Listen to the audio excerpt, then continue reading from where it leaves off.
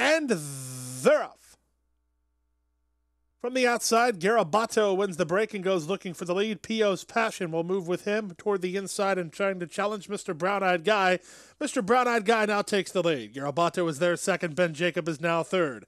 It's two and a half lengths to Fancy Henry and All Star to his inside, followed by Son of Sparta and Pio's Passion, and the Gray Cathedral is last of all as they bend into the first turn.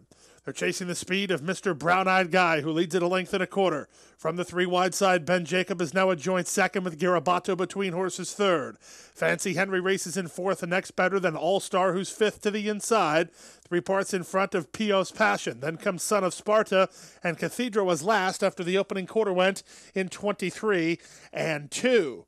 Toward the inside, Mr. Brown Eyed Guy continues to lead. He's trading blows with Ben Jacob on the outside and Garabato from up between them.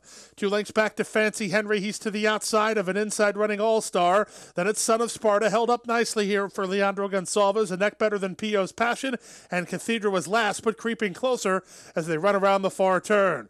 With the lead now, Garabato leads by a head. Mr. Brown Eyed Guy tries to stay with him second. Fancy Henry has All Star bottled up, so All Star has no place to go. Have to wait for room with Pio's Passion and Son of Sparta next, and they're at the top of the stretch. With the lead now, Fancy Henry gets away and leads it by a length and a quarter. Pio's Passion Cathedral. All Star muscles his way to the inside, and Boca Chica has clear passage for him. Cathedral on the outside. Fancy Henry's almost home. All Star trying to overcome that stretch trouble. Here's All Star at Fancy Henry. All Star getting up. All Star in time.